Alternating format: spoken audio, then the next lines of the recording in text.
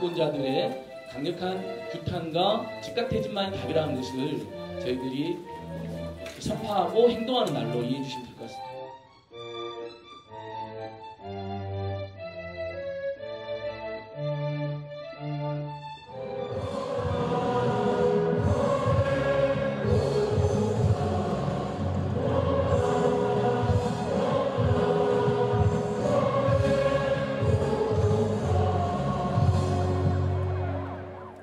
안 되죠.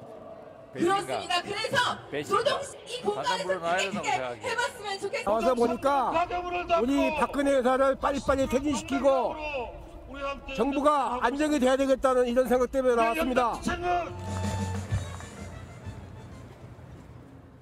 사심이 없다. 공익을 위해서 한 일이다. 이런 대목에서 내 팔을 비틀고 싶었습니다.